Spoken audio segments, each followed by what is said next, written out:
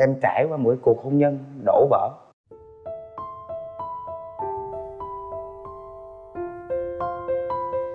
Em cưới vợ rồi. Dạ. Bao nhiêu năm thì đổ vỡ? 4 năm anh. 4 năm? Dạ. Có con chưa? Dạ chưa? Ừ. Nhiều khi mập quá có con cũng khó. Dạ đúng rồi.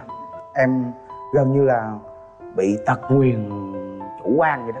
Là không làm được những đinh kim trí sinh năm 1984 38 tuổi hộ khẩu thì ở gò vấp còn em thì làm việc ở quận 9 mà bây giờ là thành phố thủ đức. Ừ. Trí làm gì trí thì em hiện tại bây giờ thì làm hai công việc song song. Thì một là lái xe tuổi nghề 20 năm. Hai là em có nhận làm hỗ trợ các bạn giảm cân online. Trí ơi chút nữa mình gặp nhau riêng nha.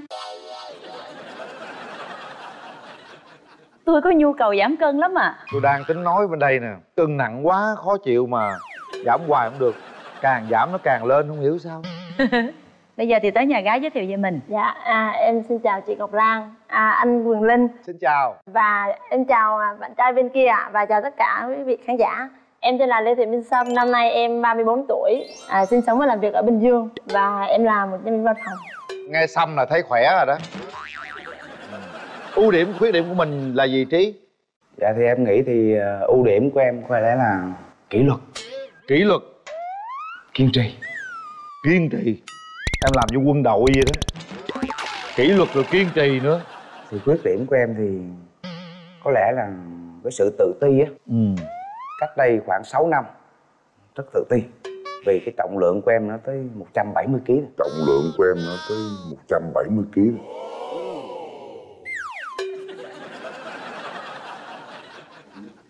trời đất ơi vậy em đi đâu có nổi trí? Dạ đúng rồi. Dạ. thì cái đó nó nó là cái cơ duyên á. Để để em làm được cái công việc hiện tại thứ hai bây giờ. Giờ em còn nhiêu? Giờ em còn ờ, chín bảy. Trời ơi vậy quá quá dữ rồi xuất sắc luôn. Nể phục luôn. Nghị lực nào cho anh biết coi. Thì em trải qua mỗi cuộc hôn nhân đổ vỡ.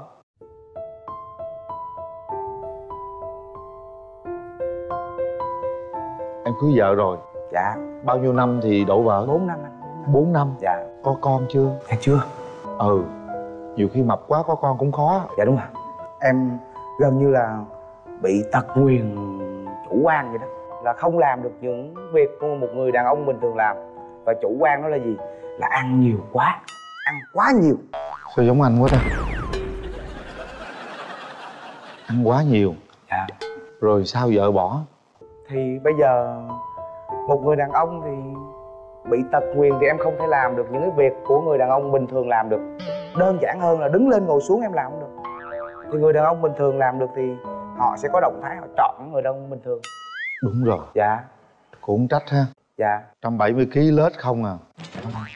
Đó là nghị lực của em để em giảm cân. Dạ đúng rồi dạ đúng rồi dạ, bây giờ em làm chuyện đàn ông được chưa? Dạ được rồi.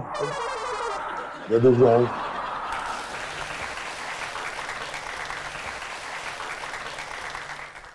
mình phải bước qua để mà mình ờ, thể hiện cái lòng ngưỡng Chiêm mộ ngưỡng về thôi. nghị lực của bạn này. Đó. Chị dạ. Hay quá. Hồi đó trăm bảy chục ký rồi chắc mặt bự lắm á. Tất cả những cái hình ảnh đó thì dạ xin mời quý vị hãy xem lại hình ảnh của anh trí vào cái thời điểm 170 kg ạ. Tăng tăng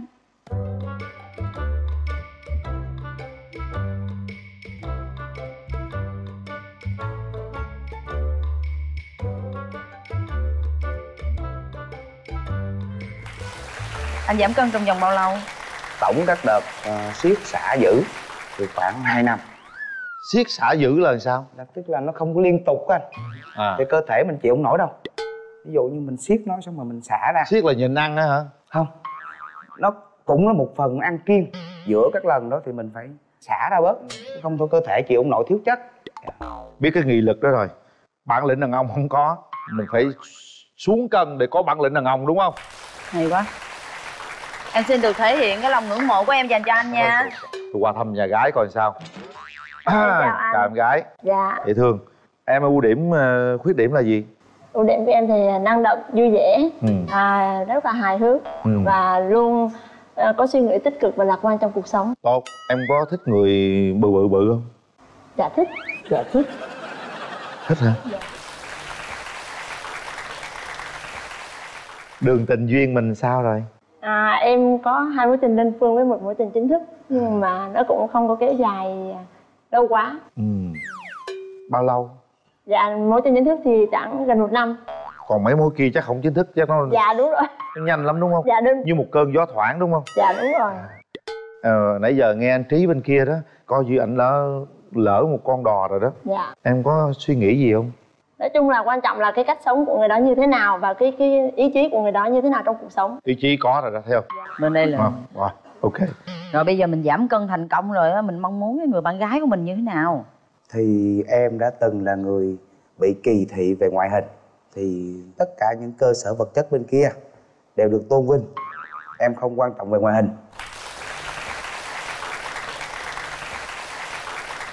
Dễ thương quá à. Bây giờ là bên đó là sao cũng được còn bên đây sao? Yêu cầu ờ, mong muốn một cái người yêu ờ, một người chồng tương lai của mình như thế nào?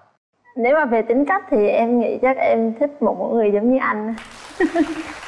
Đó là một người đàn ông của gia đình, em thích một người đàn ông của gia đình. anh bắt đầu mập rồi đó nha. Tôi nhịn ba ngày tôi không ăn tôi húp cháo không. Ngày thứ tư tôi ăn ba con gà một lúc. Đau lòng thiết là đau lòng luôn bây giờ thì ờ, mình hỏi người thân đi. đúng rồi coi ý kiến Dạ. người thân sao anh trí đi với ai? Và hôm nay thì em có mời được top 2 quyền lực trong gia đình là bố em.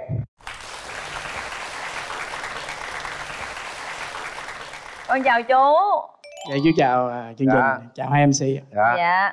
Tôi thấy con dâu tương lai của mình á tương lai thôi như thế Trước nào được không? thì chú thấy là được nhưng mà cái cái chú thấy không quan trọng bằng à, chí nó thấy cái cuộc hẹn hò đầu tiên này cũng là cái bước điểm cho những cái cuộc hẹn hò sau này của hai đứa thì hai đứa sẽ tiến tới cái kết quả hôn nhân chú rất muốn là vậy dạ rồi cảm ơn chú. à, chú nhiều cảm ơn trình con gái đi với ai Dạ em đi với bạn đồng nghiệp ạ. đồng nghiệp Dạ. rồi xin chào nhà gái Dạ em chào ờ, chị Ngọc Lan và chú Quyền Linh. Theo em ờ, cảm nhận về cái anh bên này á thì em thấy về về ngoại hình á thì ảnh khá là ok. Chị của em á sau khi mà trải qua mối tình ờ, một năm á thì em thấy là chị chỉ cần một người kiên trì, cái mối tình nó sẽ kéo dài và sẽ đơm hoa kết trái. hai người đã nghe góp ý gia đình rồi bây giờ mình gặp nhau thôi. Dạ. Mở rào. Bắt đầu đi em.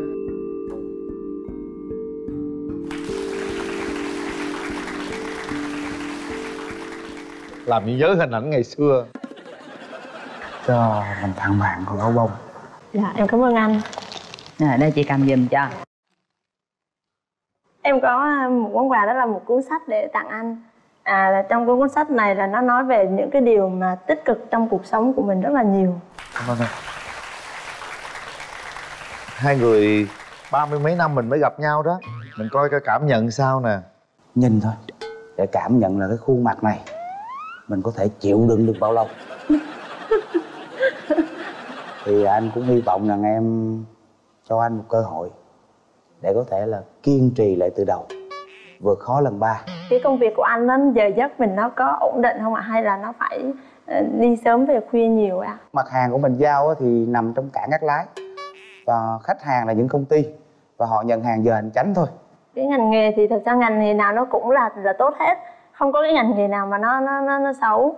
Nhưng mà em thì trong tương lai của em là làm nghề tài xế thì em cũng khá là lo. lo là đúng. Dạ. nhưng mà thật ra lo là đi lái xe đường xa thôi. Đúng rồi, đúng rồi. anh trí thì chỉ có lái xe giao hàng từ chỗ ờ, cắt lái đúng không? Dạ, đúng rồi, đúng cái tay cái lái tới lấy lui xe gì? Sẽ tải anh. À chạy xe tải. Dạ. bằng lái mà là gì? FC fc đó. Sáng anh giao chiều anh về. Anh ghé nhà em chở em lên bình dương. Xong rồi cái sáng mai anh chở em về nhà cái anh chở em xuống tra giao hàng anh giao hàng cái anh giao em luôn. Đó. Giao đi đâu? Đến giao nhà gái tôi đi đâu? Giao đi đâu ai biết. Tôi nói vậy thôi còn tiệm trí giao đi đâu giao chứ. Tôi chỉ tự nhiên tính đi giao con gái nhà người ta. Theo anh là vậy đó. Dạ chắc cũng để suy nghĩ. suy nghĩ đi em. Suy nghĩ. hai người tiếp tục đi. Dạ sở thích của anh là cái gì ạ? sở thích của anh thì chắc có lẽ là ăn kiêng. Tại vì nó đã duy trì hơn 4 năm rồi quen rồi ha. Nó quen, giờ dạ bỏ đúng. tập không được đúng không? Dạ đúng rồi. Dạ. Thì là anh phải ăn ăn theo chế độ riêng của dạ anh đúng hả? đúng. Dạ đúng. Rồi lỡ như cưới em về rồi là ăn theo chế độ của anh luôn. à, tại vì chắc em thằng con tép luôn à. Chắc em thằng con tép luôn à.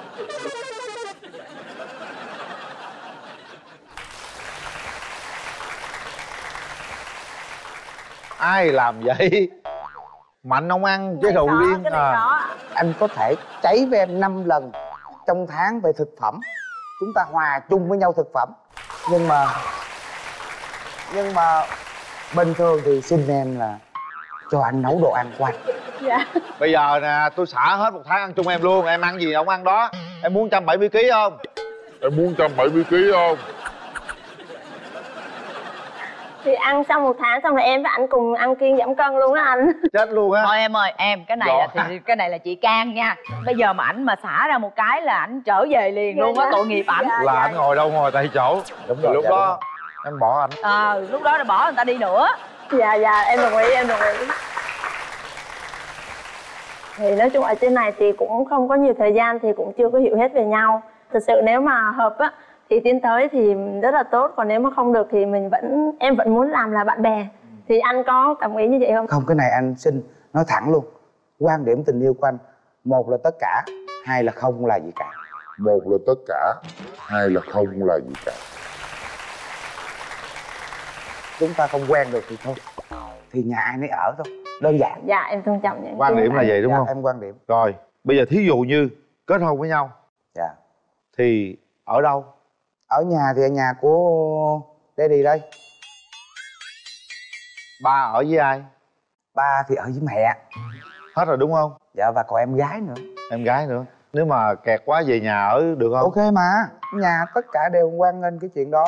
Và nếu cần thiết thì mua nhà thì cũng có thể là bình thường.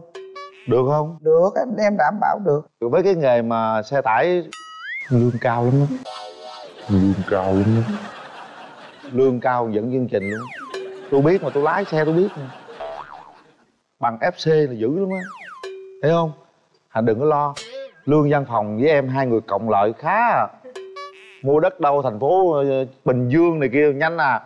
Thậm chí giờ hai chồng làm được mua đại chiếc xe tải của mình luôn đi. Cái xe tải của em hả? Ủa vậy hả? Dạ. Chị mua làm gì nữa?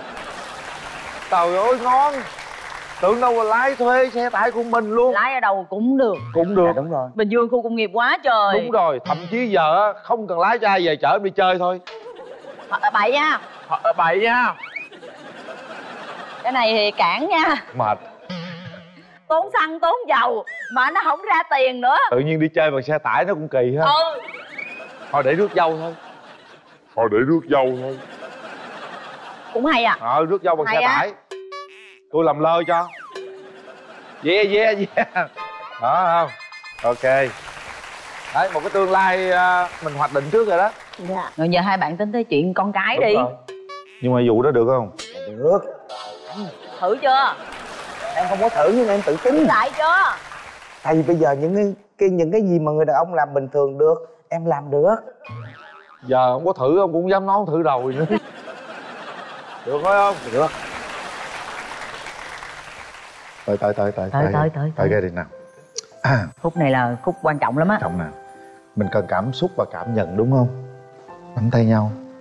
Có thể hát một đoạn bài hát nào đó để đem đến cảm xúc cũng được. Vậy em hát à, một à, một câu của bài ước gì đi. Đúng rồi nhìn nhìn anh ấy hát.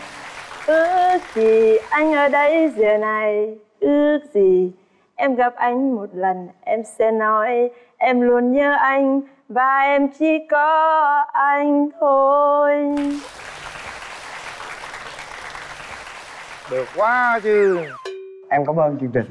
Hả? Đi cho em về lại. Em chịu hết nổi. Thôi. Chịu hết nổi hả? Thôi về đây. Rồi bây giờ là những cái giây phút mà hai bạn phải ờ, cảm nhận lại những cái thời khắc vừa rồi trên sân khấu này. Chúng ta đã nói gì với nhau?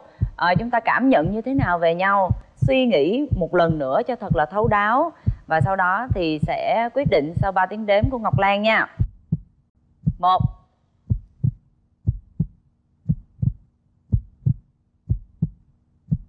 Hai. Ba. Hết thời gian.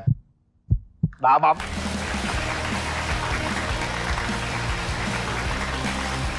Hãy nắm tay nhau nào đó nắm chặt vô. Bao nhiêu lâu chưa nắm tay con gái rồi? Chắc phải hai năm. Mấy năm rồi đó hả? Mấy năm vừa qua toàn là nắm tạ không hả? dạ đúng rồi. Giờ nắm tay con gái thấy thì sao? tạ với vô lăng không? Dạ đúng rồi. Tay nó chai hết rồi. Bàn tay chai sần đó nhưng nó nhiều cảm xúc. Nắm tiếp đi. Nắm chặt vô nắm gì khác nè Thấy có khác với nắm tạ không? đúng rồi. Khác. Khác chứ. Dạ khác. Bây giờ nè lâu rồi chưa hung thôi anh biết miễn cho em. Em em run quá anh ơi. Bây giờ mà hung không được là chú Linh sẽ nói là là mất bản lĩnh đàn ông đó. Cái vụ kia cũng không được đó. ờ mới dạ dụ rồi cho em xin hôn ờ, bạn gái lên tóc. Dạ. Hung sao mà ta thấy bản lĩnh đàn ông á? Dạ. hung sao ta nói không có bản lĩnh đàn ông đi. Ngày má.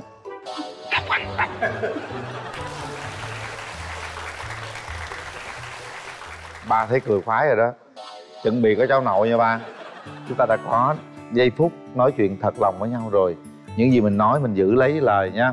Và vấn đề thực hiện để làm sao chăm sóc cái mối tình này được thăng hoa nó đơm hoa kết trái để chúng ta có thể về chung một nhà Dạ. để hỗ trợ chăm sóc chia sẻ với nhau suốt cả cuộc đời này các bạn nha. Dạ em cảm ơn anh. Cảm ơn Cảm ơn chị. Là đám cưới đây là những phần tại yêu thì trong đây bắt buộc ra ngoài.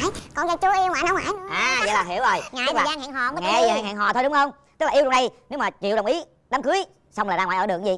Thì cái đó để suy nghĩ lại. Khó quá trời khó luôn thiệt. Thì bây giờ mấy để chị thương lượng coi giờ mỗi tuần á là tuần ảnh vô thăm em tuần em ra thăm ảnh thăm qua thăm lại khoảng chục lần đám cưới luôn. rồi đó. Em tên là Bích Quyền, em năm nay 25 tuổi. Em là nhân viên kế toán, em làm ở công ty di động H Nam Mobile chị. À h mobile. Rồi mình đợi coi bạn trai mình hôm nay là ai nha?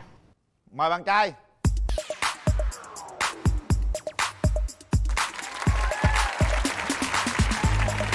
Dạ em chào anh Quyết Định, ạ. chào chị Cát Tường và chào người bạn đấy. chào bạn Dạ. bên kia tên là bích quyền Dạ em tự giới thiệu em tên là Lê Văn Trường, em hiện tại là quê ở Thanh Hóa và hiện tại đang sinh sống và làm việc. chị không nghe gì trơn vậy nãy đi chung với anh kia hả Dạ không. thanh hóa vào thành phố hồ chí minh lâu chưa Dạ em vừa vào hôm qua. vào hôm qua cái gì mới qua chạy vô đây vô luôn kiếm vợ vậy đó hả Dạ. Hiện tại đang sinh sống và làm việc tại Hà Nội. ở thanh hóa làm việc ở hà nội vô thành phố hồ chí minh kiếm vợ. Chứ đi xa vậy? Ủa là hôm nay vô đây là để tham gia chương trình mà muốn hẹn hò thôi hả à, anh ơi? Không ạ, dạ, tại vì em theo dõi chương trình rất nhiều và em thấy rất là có ý nghĩa mà em thì hiện tại chưa thể tìm được người như ý của em mong muốn. Thì em đã đăng ký tham gia chương trình nhờ chương trình tìm một cái người mà em đã gọi là là là liệt kê sẵn. Liệt kê rồi hả? Đâu liệt kê sao sao? Kể nghe dùng liệt kê coi. Thật là em thích những người gái miền Nam á thích gái Em miền thích người nam. Miền Nam tại vì giọng nói rất là dễ dễ thương dễ thương không? ngào. Cỡ chị cát tường không? À, chỉ các từ miền Trung ạ. Ở miền trung hả? À, em thích người con gái dịu dàng à, thướt tha da trắng má hồng. Da trắng má hồng. À, dạ vâng. Ý, dịu dàng thiết tha da trắng má hồng. Thân hình à, cân đối. Quyền có ờ, thích quen với bạn trai ở miền bắc không? Dạ không, em thích ừ. trai Sài Gòn. Dùng liệt căng rồi nha. Căng rồi đó vô là thấy câu mở đầu mới là vô gặp căng rồi mâu đó thuẫn rồi ta mình giới thiệu về mình trước đi. À, lỡ anh cũng đi ngàn dặm xa xôi đến đây đúng không? Mình phải cho mình cơ hội để kéo màn còn tìm hiểu nữa chứ. Dạ em thì nhiệt tình, vui vẻ. Nói chung là sống tình cảm. Chỉ như vậy thì ưu điểm có gì nữa vợ khuyết điểm? Ưu điểm thì em hát dở. Lắm Hát kỳ cỡ dở nào? Hát thử nghe coi nó vợ cỡ nào. Dở lắm anh ơi, ai nghe cũng sợ. Kệ nó thử anh nghe. Biết đâu cái đó ấn tượng sao? Em không thuộc bài nào anh ơi. Hát đỡ cỡ hai ba câu cho anh linh anh biết. Đúng rồi Ba thương con thì con giống mẹ Mẹ thương con thì con giống ba. Thôi em hát trời ơi bài đứa ba bốn tuổi hát không được mà em hát chưa đúng lời Rồi đúng rồi em hát. Chưa đúng nhạc nữa. Thế mình có bao nhiêu mối tình rồi? Dạ lúc trước em có quen hai người chị. Một người lúc thời còn à, đi học á Còn một người thì mới chia tay đây cũng khoảng 2 năm. Chia tay hai năm. Dạ. Hai năm nay là không có ai đeo, đeo đuổi mình sao? Như cũng có người này quen qua quen lại nhưng mà không có hợp chị bây giờ mình đã muốn lấy chồng chưa? Cũng muốn rồi chị. Chứ bây giờ anh bên kia anh đầy đủ cái yêu cầu hết á thì mình có cho nhau một cơ hội không? Em không biết nhưng mà anh nói sao á. À đâu có sao đâu. Ta nói thương nhau mấy núi cũng trèo mấy sông cũng lội mấy đèo cũng qua mà xa cái gì? Nhưng mà cái mẫu người bạn thích là người như thế nào? Nói chung em thích con trai nè Cao khoảng 1m7 nè Vui bạn vẻ này cao mét bảy mươi lăm. Nói chung là nó nhiều xíu. Nói nhiều. Dạ Em ít nói nên thích người nói nhiều. Ủa sao kỳ vậy bạn? Thương, thương, thương. qua sức lợi anh ơi. Bạn bên đây ít nói quá nè. Công việc cụ thể bạn là hàng ngày làm gì? Dạ, em hiện tại đang là kỹ sư cơ khí nghĩa là em làm à, bên đại lý bán hàng và dịch vụ cho nhà sản xuất máy làm bên các máy móc công nghiệp. Mấy công nghiệp. Dạ. Bạn không thích cái điểm nào ở người đàn ông? Nói chung là không thích đàn ông hút thuốc gia trưởng à, ăn mặc bê bối. Á. mình có cái mẫu ờ, người ờ, lý tưởng nào không? Thích lý hải chị. Anh lý hải ca sĩ á hả? Dạ thầy giống ly hải nè. Giống mà hả? Giống giống ly hải á. Đến chương trình có ai theo ủng hộ mình không? Dạ có em gái đi cùng đâu em gái em đâu? Chào em. Dạ chào chị Cát Tường với anh Quyền Linh nè à, em tên là gì? Dạ em tên là Xuân Tài á chị. Em ruột của quyền hả? Dạ đúng rồi chị. À, thấy anh bên kia sao? Ừ, Dạ thấy anh thì à, nói chung là cũng hiền cũng dễ thương. Cái vụ mà chị nói không có chịu ngoài người bắc em nghĩ sao? Thấy có cứu vãn gì được mối tình này không? Em thấy quê ở đâu cũng được nhưng mà chị thích là phải lập nghiệp ở ờ, Sài Gòn chung là có nhà ở Sài Gòn để chỉ tay công việc của chị thì ở đây. Đủ giờ hà nội ta giàu quá trời giàu luôn mấy chục cái nhà luôn không ra hả? Mua sài gòn chi? Giờ sao ở hà nội sao quen anh? Ủa quen quen bình thường. Ngày sao đi chơi anh? Thì ra hà nội đi chơi. Em mới đi làm. Thì bây giờ mình chỉ cưới quen cái được là mình cưới luôn. Chưa tìm hiểu sao cưới chị. Cần cái gì tìm hiểu gì nữa? Bà này bà khó dễ sợ luôn vậy đó. Phải khó anh. Hả? Đủ giờ yêu nhau trong đây mà ảnh về hà nội là đám cưới đi không thì tại yêu thì trong đây bắt buộc ra ngoài. Còn giờ chưa yêu mà anh ở ngoài nữa. À vậy là hiểu rồi. Ngại Tức thời là gian hẹn hò không có chỗ nghe đi hẹn, hẹn hò thôi đúng không? Tức là yêu trong đây nếu mà chịu đồng ý đám cưới xong là ra ngoài ở được cái gì? Thì cái đó để suy nghĩ lại. Khó quá trời khó luôn thiệt. Thì bây giờ ông ấy để chị thương lượng coi giờ mỗi tuần á là tuần ảnh vô thăm em tuần em ra thăm ảnh thăm qua thăm lại khoảng chục lần đám cưới luôn rồi ra ngoài ở quản lý làm việc ở ngoài. Bây giờ để hỏi coi có tiền đám cưới không nè. Dạ chào chị sao em? Giờ công việc ngoài kia ổn định lắm hả? Dạ vâng thì em cũng khá ổn định ngoài đấy rồi. Khá ổn định ngoại xong ở ngoài kiếm vợ luôn đi rồi vô đây làm chi được? Thì em gọi là thích. Người Việt Nam mà. nhưng mà em chưa bao giờ có cơ hội gặp người Sài Gòn à có nghĩa em cũng hay công tác ở Sài Gòn nhưng mà em cũng chưa chưa chưa thể gặp được. Đó rồi bây giờ nhà chị ờ, đưa ý kiến cái vụ hẹn hò vậy đó. Nếu mà thấy, em thấy cũng hợp thì nếu hai người thấy hợp thì em sẽ cố gắng là một tháng em làm một lần. Tháng vào hoặc lần. là họ có thể rồi lại đổi lại người đó thời ra Hà Nội rồi thí dụ như giờ đem cổ ra ngoài thì có có tìm được việc đồ gì cho cổ làm không? Hay là cổ ra ngoài rồi cổ làm cái gì? Việc thì ờ, trước tiên thì tùy theo khả năng của mình mình tìm còn không thì người phụ nữ mà không không sao cả. Ở nhà chồng nuôi? À, vâng không, không sao có cả. nhà chưa? Tại em thì hiện tại chưa nhưng mà trước khi cưới vợ thì em cũng mong muốn mua một căn nhà nhỏ nhỏ. Mà muốn khi nào cưới thí dụ giờ được không lẽ đi ra đi vô hoài? Em thì ờ, xác định thì em muốn tầm tuổi 29 tuổi. Ba năm nữa không lẽ giờ quen nhau 3 năm mà một tháng đi vô một lần tìm máy bay sao chịu nổi? Dạ không sao. Không sao? Dạ. cái hình hình mẫu lý tưởng nào mà bạn thích á? Ví dụ như thích hình mẫu lý tưởng giống ai thích thì đó? giống ờ, diễn viên Nguyệt Ánh. Nguyệt Ánh. Nguyệt Ánh. Cũng giống lắm á. Giống giống. Nhưng mà giống là giống lý tưởng cho vui thôi chứ mỗi người một nét không có so sánh được giống đúng không? Nguyệt Ánh y y chang có mái tóc á. chị thấy rất là có thành ý. Em nghe nãy giờ em nghe rồi chị đâu cần nói lại đúng không chúng ta sẽ kéo màn lên ha để cho cô ấy gặp đi. Kéo màn. Mỗi tháng vô một lần 3 năm cưới luôn. Có nhà trước khi cưới đàng hoàng nha. Mỗi tháng vô ba ba năm vô liên tục vậy bán nhà luôn á. Chuẩn bị. Mời hai bạn. Chào ạ. Tặng rượu dạ em cảm ơn thấy ta chu đáo chưa? Hoa mà để vô cái hộp mình để giữ, giữ cái hộp luôn đi. Bỏ hoa vô cái hộp mới đẹp. Tặng cô khác không có quà là tặng cô khác nữa. Cái hộp đẹp hơn hoa. Em soạn cái hộp đẹp vậy mà tới hồi em tặng thì em lại lấy ra để cái hộp lại. Dạ em không biết thì em ngỡ là tặng phải tặng hoa thôi. Ý không phải hoa thiệt. À, không hoa thiệt. Hoa sáp. Hoa sáp là hoa là sao? Em cũng không biết em đẹp quá hoa sáp. Cảm ơn nha. Vô duyên của người ta. Đâu vô. Hả? Trời ơi thấy đẹp quá tôi lấy luôn. Quá đẹp. Anh nói với em nghe nha chưa thấy chàng trai nào mà chuẩn bị kỹ lưỡng gì nữa mua mà không không mua hoa thiệt mua hoa sáp á sợ héo đó. Là tình yêu nó không bao giờ phai mờ theo cái hoa sáp này mà để ngàn năm nó cũng hư nữa. Là kỹ lắm á. Anh thiệt anh là con gái anh chọn liền luôn á. Rồi hai phút tâm sự. Thế lúc nãy cũng có nói chuyện là em không thích ở xa hiện tại thì anh đang ở hà nội. Thì sài gòn thì anh chỉ là công tác thôi. Nếu mà mình đồng ý á, thì anh sẽ vào một tháng hoặc một lần một tháng nhau lần một tháng thôi tại vì anh ngoài hà nội cũng khá là bận. Dạ. Thì nói chung tại ở xa quá mình tìm hiểu thì nó cũng khó lắm. Nếu mà hôm nay nếu mà em tạo cho chúng ta một cơ hội thì anh nghĩ là ngày hôm nay sẽ rất là khó quên. Quan điểm của anh về hôn nhân á gia đình là như thế nào? Anh chỉ thích người trung thủy thôi anh không thích phụ nữ mà trung trung thủy. Mắt đưa đưa tình. Cái đó thì em không có nhưng mà em thấy anh nãy yêu cầu của anh cũng cao lắm cao em gì biết đâu biết có em có đạt yêu cầu không?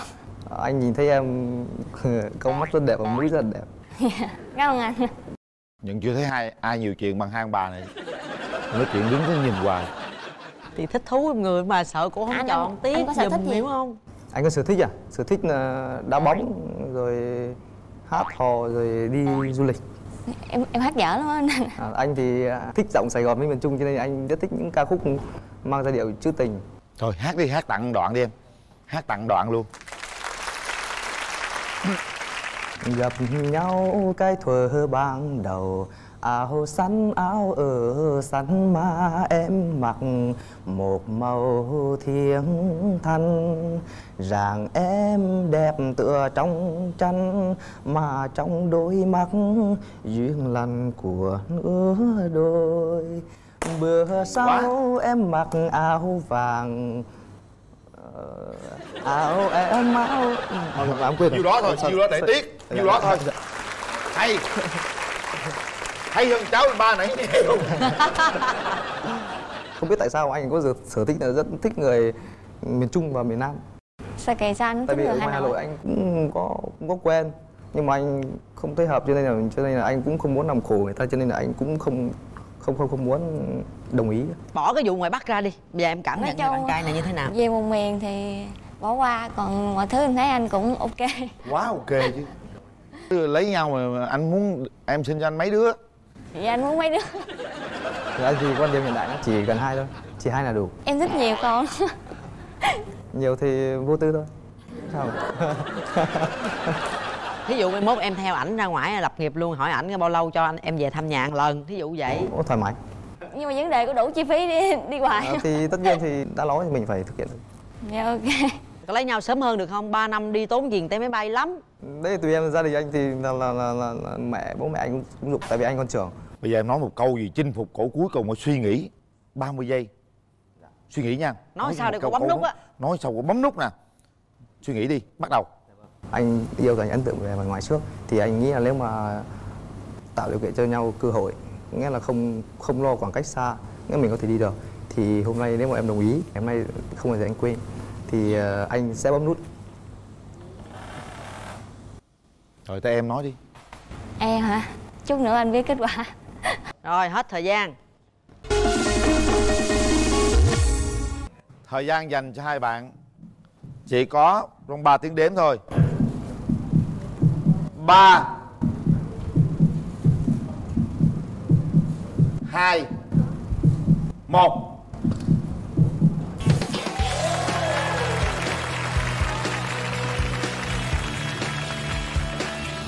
Cảm giác anh em bây giờ như thế nào? Em rất là vui em gặp người. Đó, nhìn cũng giống người đánh có mặt nhỏ dễ thương. Em rất là thế còn vui quyền quyền cảm giác như thế nào chung thấy anh cũng đẹp trai. Vậy là được rồi. Mình nắm tay nhau cái đi. Nó tình cảm ta đi xa Ôi. lắm á nói này nắm nắm vậy chứ đâu phải bắt đâu mà. Nắm tay chặt tay nhau coi. Ai, nãy giờ tôi lo thì lo muốn chết luôn vậy đó. Bạn đi đi tỏ tình mà tôi lo giùm á thật sự. Tôi rất là rất là thích. Anh nói thiệt với em nha đây là chàng trai rất là bản lĩnh. Anh thấy tính của anh ấy là vững vàng đấy lập trường chắc chị nói thiệt đấy với em ai mà tỏ tình với chị mà ở xa mà nói mỗi tháng anh vô thăm em một lần là chị đồng ý liền luôn chị nãy giờ chị cứ lo em không có nhấn nút anh nhớ một câu này nè, là nếu như em đồng ý nhấn nút thì ngày